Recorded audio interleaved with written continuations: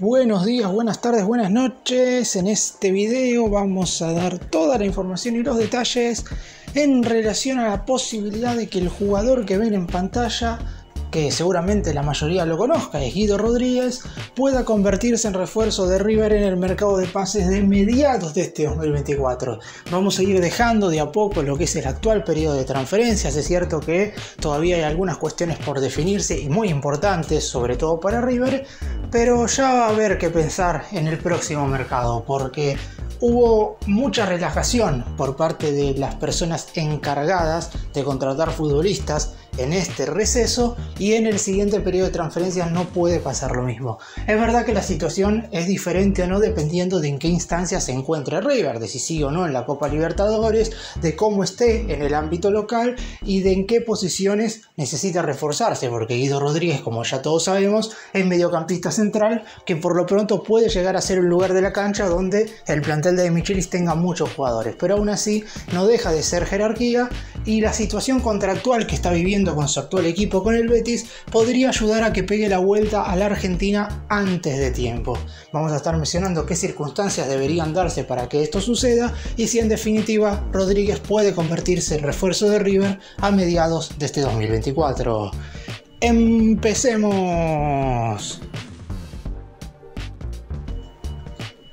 Vamos a comenzar poniendo un poco en contexto la situación de Guido Rodríguez porque seguramente la mayoría no sepa qué es lo que está pasando con el futbolista hoy en día. Si repasamos las últimas formaciones de el Betis, que es el club en el cual hoy por hoy está jugando Rodríguez, vamos a encontrarnos con que el futbolista en cuestión no está siendo titular en ningún partido y seguramente muchos se pregunten por qué. La verdad es que en diciembre del año pasado, Guido Rodríguez sufrió una muy dura lesión en un entrenamiento con el elenco andaluz y eso hizo que se perdiera básicamente los últimos dos meses de competencia, va a seguir afuera por un tiempo más tuvo que pasar por el quirófano e inclusive su presencia en la Copa América del 2024 con la selección argentina hoy por hoy es una duda bastante importante. El mediocampista se fracturó el distal del peroné de su pierna derecha durante una práctica y la ausencia se prevé por aproximadamente cuatro meses, es decir, recién estaría volviendo al terreno de juego a principios del mes de abril, por lo que también se perdería en su totalidad toda la fecha FIFA del mes de marzo, que es la última en la cual la selección argentina va a jugar dos cotejos amistosos en el continente asiático y que va a ser la previa a lo que será la Copa América de mediados de este año. Por eso mismo uno se pregunta, ¿River verdaderamente tiene que ir en búsqueda de un jugador que no esté teniendo tanta continuidad? La verdad es que en principio River estaría abriéndole las puertas a Guido Rodríguez más que yendo a buscar al propio jugador porque la situación contractual que está viviendo con el Betis hace que el próximo 30 de junio quede libre con el pase en su poder y está claro que ya desde ahora puede firmar un precontrato para firmar un nuevo vínculo con un nuevo equipo a partir del 1 de julio del 2024, es decir, cuando arranque la temporada 2024-2025.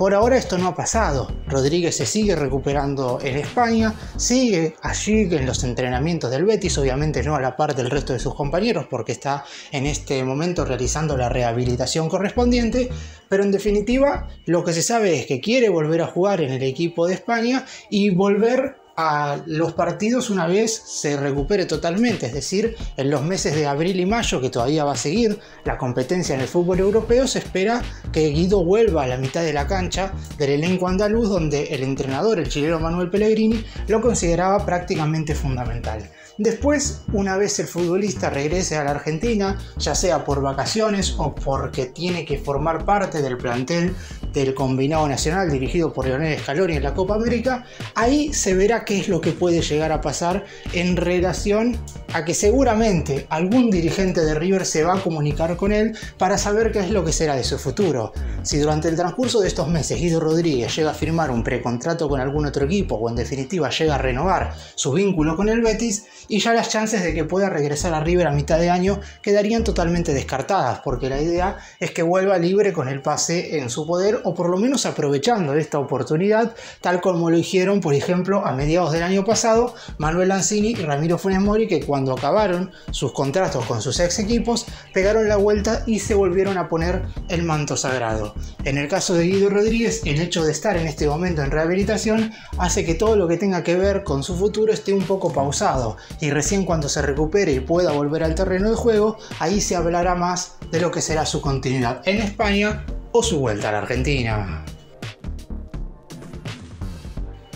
A mitad de año River va a tener que hacer un mercado de pases bastante fuerte otra vez. Y cuando digo otra vez no me refiero a este mercado que está a punto de terminar, que fue bastante pausado, bastante pasivo estuvo la dirigencia del millonario y recién sobre el final del periodo de transferencia apretaron el acelerador para contratar refuerzos. La verdad es que estuvieron no voy a decir que bastante conformes con el plantel, porque uno cree que nadie nunca está conforme con una plantilla, que siempre uno va a pensar que necesita más. Pero a priori, River no hizo una gran movida por contratar jugadores, lo único que estuvo esperando durante los primeros días del mes de enero fue ver si podían regresar Lucas Alario y Rafael Borré porque la verdad es que esta dirigencia apuesta mucho al regreso de los ex River que jugaron los últimos años en el fútbol europeo. Y por eso mismo las puertas estarán totalmente abiertas para que Guido Rodríguez pueda volver a partir de la temporada que viene. Su posición parecería estar bastante ocupada, pero teniendo en cuenta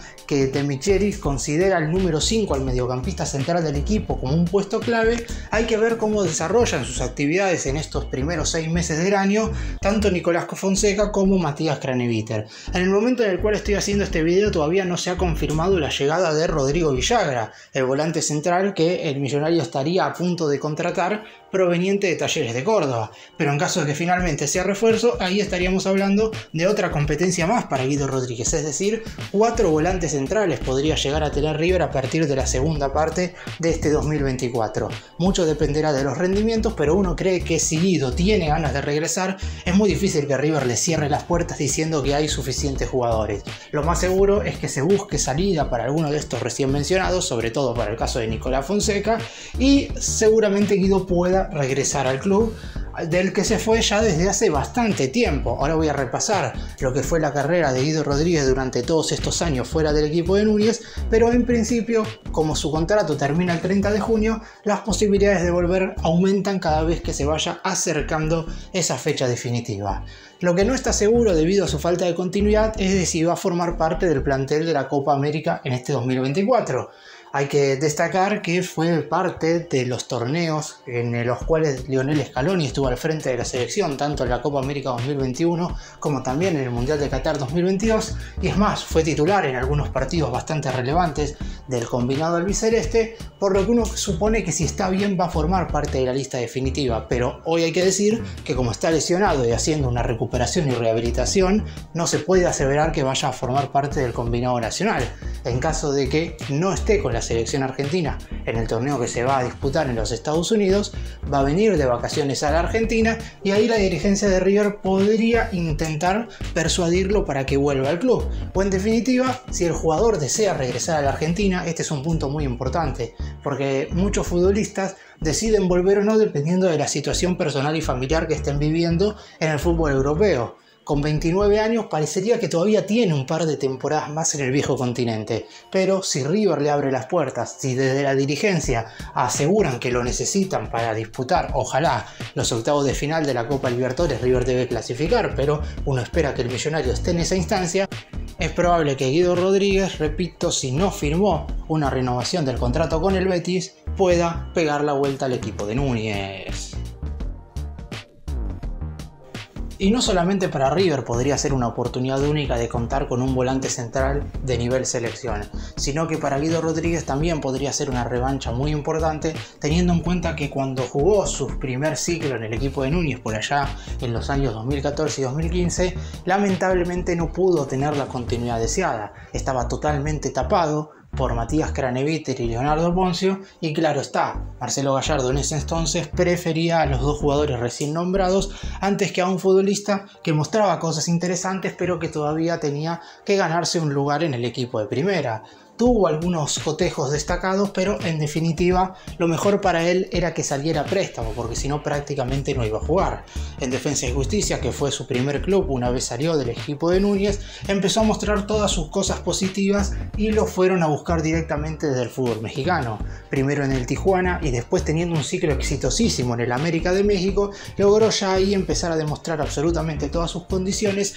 siendo para muchos el mejor jugador de toda la Liga de México, siendo mediocampista central. Hay que aclarar esto porque en definitiva siempre cuando se eligen a los mejores jugadores de ciertas competencias, se terminan seleccionando más a los futbolistas ofensivos, a aquellos atacantes que meten goles o a aquellos mediocampistas de mitad de cancha en adelante que logran hacer la diferencia contra los jugadores rivales. En el caso de Guido Rodríguez, el toque corto, los buenos relevos, el equilibrio en la mitad de la cancha y la buena distribución de la pelota hicieron que en ese entonces fuera escogido como el mejor jugador de la Liga MX. Posteriormente le llegó la hora de calzarse la camiseta de un equipo europeo, el Betis lo incorporó y durante todos estos años en el equipo español ha tenido ofertas para salir. De hecho, el Arsenal de Inglaterra en un momento estaba bastante interesado en contratar al jugador, pero por diversos motivos la propuesta no terminó llegando a lo que pretendía el elenco de España, por lo que hoy por hoy Guido Rodríguez sigue jugando en el Betis.